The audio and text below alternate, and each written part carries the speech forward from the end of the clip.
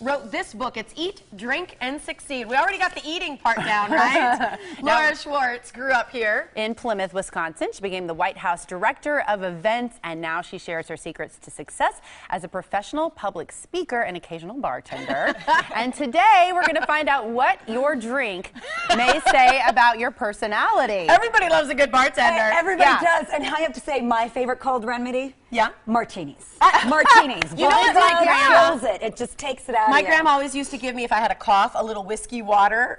grandma used to do that, grandma, up That's a there. fun A little grandma. whiskey water with some honey, and it would Yeah. stop the cough. Or in tea, same thing. Yep. Yep. Yes. Or Jägermeister. as long as it's Or that. cold, right? But I digress. You know, it's funny. There's a martini on the cover of my book. Mm-hmm. And when I was a kid, a lot of kids, you know, have little tea parties with their dolls. Well, I would take my parents' little martini glasses. Stop it. And I'd put my Kool-Aid in the martini glasses and I'd have like cocktails. That's So I think. I was destined to do this. But I make a, a big point in the book. Whether your glass is filled with water, vodka, wine, or orange juice, when we drink together, when we mm-hmm. have a cocktail or have a coffee, it's our chance to eat, drink, and succeed, to share our struggles, look for solutions, and celebrate success. And, mm-hmm. and eat, drink, and succeed. It's all about that great partnership that comes out of those moments that you're not necessarily in a meeting, but you're around a table. So you really think all of those things combined really can help you get ahead in business and in life and in just relationships as well? Absolutely. It's about networking, but it's networking in a positive, powerful way. Yeah, because networking can feel a little like a lot of people don't like that word. They feel uncomfortable with Yeah. it. Hey, and Tiffany, heebies, you, know? Mm-hmm. you hit it head on because that's why it's not in the title of my book. Yeah. uh, it's in the subtitle. The networking your, you know, your way to the top with social events. But it's all about what I can do for you. Whereas we oftentimes meet people and they're networking with us and they just want to see what they can get from you. Yeah, Is it a cheap feeling. hotel? Is it a discount? Is it this? And then if they can't, boom, they're off to the next person. Mm-hmm. That's not networking. Social but climbing. sharing this is, yeah, that's social climbing. That's Yeah. not climbing your way. Boy, you're good, Tiffany. And, and I just, it's really funny. The book just launched in Finland. I was Yeah, exciting! I was so thrilled. Evento Magazine and their publishing unit over there in Finland. I came to speak, and then they published it a few months later. That's and awesome. so in Finland, you drink a lot of vodka. And I learned a lot about vodka and great martinis while I was there. And I even Okay. judged a bartending competition Okay. that's with awesome. Evento Magazine. So I So thought I'd you learn? share some of the tips with you. Please. Well, for a great martini, I always love a fabulous martini glass. Mm-hmm. Now, they don't always fit in my fridges. My fridge is full of too many other things to like chill and frost my glasses. Sure. So, a great way to get around that is just fill your glass up with ice while you're making your I've seen martini. some bartenders do that, Yep, you're and you just let that let that sit. We'll just do it to two. So it just kind of hangs out. Uh-huh. Absolutely. And then you want to have the right ingredients. Okay. For me, this is like if it's a power lunch or after hours. I really love a good martini. Now, I You'll do a martini at lunch. Well, if it's a, if it's if it's one of those you. lunches, yes, absolutely. But one martini lunch though, two martini lunches, I'm not going back for Right, anymore. right. Work the rest of the day. But the nice thing is, when I was growing up, I drank Jack and Ginger. Well, growing up, I You should up in I should preface that I did grow up in Wisconsin, so yes, I was drinking a lot of that and a lot of Miller. But I have to say, I started with Cosmos Yeah. because Sex in the City. Yes. Cosmos were so much fun, And and, it was kind of easy easy. to And they're taste pink and they're pretty. Yeah, the vodka went down a little easier, but then I really kind of turned away from the sweet and more to the citrus, like uh, grapefruit and Mm-hmm. That's. Mm-hmm. lime, little Saint Germain liqueur. Some bartenders put simple syrup in their martinis, and that'll taste really good. But if I wanted sweet, I'd go with the soda. Okay. That's why we're doing the classic martini. So chill the Fair. glasses with some ice. While that's going on in your shaker, you load that baby up with ice. so where's the best place that you've had a martini? Is it in Finland? I have to say, it was at the Savoy Hotel in Finland. It really is sort of like what would be our Pfister. Yeah. It's right on the town promenade, and it's it's got a lot of great, rich history to it. And they've got the old-fashioned martini glasses, very similar to this. Yeah. Um, in Chicago, I love the Peninsula. Um, right Yeah, here, Peninsula's there's a fabulous place called Stir Yes. in Milwaukee. Uh-huh. And so there's more and more hot, great martini mm-hmm. places. Mm-hmm. And I yelped Martini Milwaukee on my way here.